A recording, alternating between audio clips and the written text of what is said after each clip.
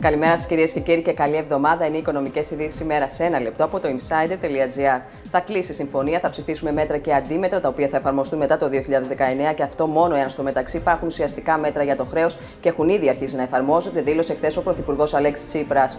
Οι κυβερνητικοί επιτελείς πάντως εμφανίζονται αισιόδοξοι πως το σκέλος της Τεχνικής Συμφωνίας είναι λίγο πολύ τελειωμένη υπόθεση με το βάζο μετατίθεται στην έγκρισή της από την κοινοβουλευτική πλειοψηφία.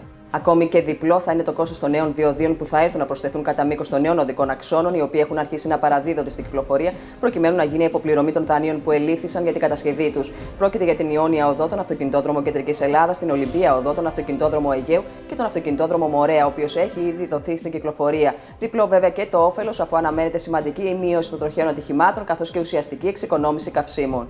Όταν μεγαλώνει κανείς φτωχός, είναι πιο δύσκολο να πετύχει ως ενήλικας, δήλωσε σε πρόσφατη ομιλία της η πρόεδρος της Κεντρικής Αμερικανικής Τράπεζας, Τζάνετ Γέλε, επικαλούμενη πρόσφατη έρευνα της Ομοσπονδιακής Τράπεζας των Ηνωμένων Πολιτειών, η οποία καταλήγει στο ότι οι ενήλικες που μεγάλωσαν ανησυχώντας για το φαγητό, το σταθερό οικογενειακό περιβάλλον ή για την ασφάλειά τους έχουν μικρότερες πιθανότητες να βρουν δουλειά, να έχουν σταθερό εισόδημα και να μπορούν να πληρώνουν τους μηνιαίους τους λογαριασμούς σε σύγκριση με όσους μεγάλωσαν υπό πιο σταθερές οικονομικές συνθήκες. Το ότι κινείται η χρηματιστηριακή αγορά στο σημερινό άνοιγμα της συνεδρία με το γενικό δίκτυο μόνο και μέσα 663,3 31 μονάδες, καταγράφοντας απώλειες 0,46%. Μικτές τάσεις επικρατούν στα ευρωπαϊκά χρηματιστήρια. Για περισσότερες ειδήσεις στο insider.gr.